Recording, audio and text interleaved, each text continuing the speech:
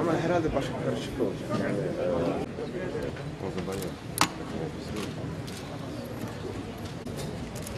Bu yıl 109 yabancı olmak üzere 411 katılımcıyı ağırlıyoruz.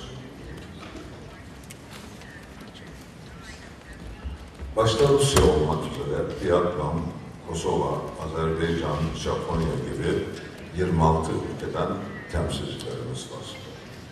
16 bakan ve bakan yardımcısı düzeyinde. Ayrıca 13 ülke katılımcı olarak İzmir'e geldi.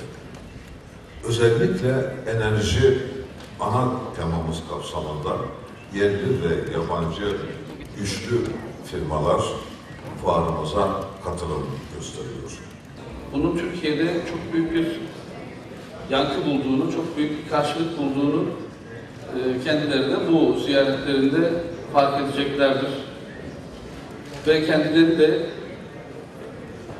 bu toplantıdan hemen sonra Rusya ile ortak bir iş forumu düzenleyeceğiz. Orada Türk-Rus iş katılımcılarıyla beraber bir araya geleceğiz. 500'ün üzerindeki Türk iş adamı yaklaşık olarak da 250'nin civarındaki bir Rus iş dünyası temsilcileriyle biraz sonra beraber gelip bir araya geleceğiz.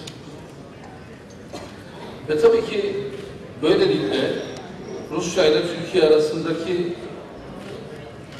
bu iş forumuyla da İzmir'in o canlı ruhunu aramızdaki ikili ilişkilere kazandıracağız.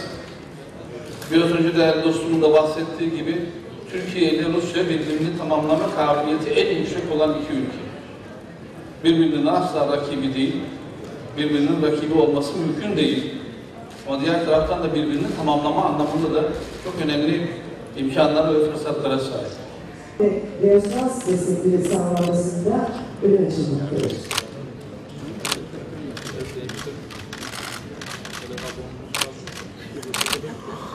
onlar çektikçe hoşumuza gitmeyecek.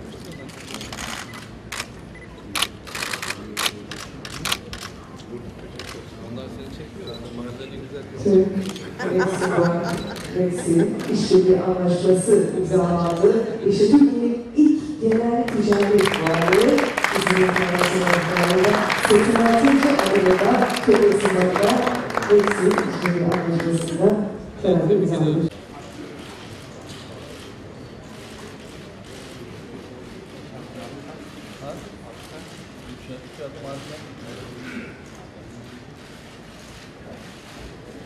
imzalandı. бизнеса в российском регионе.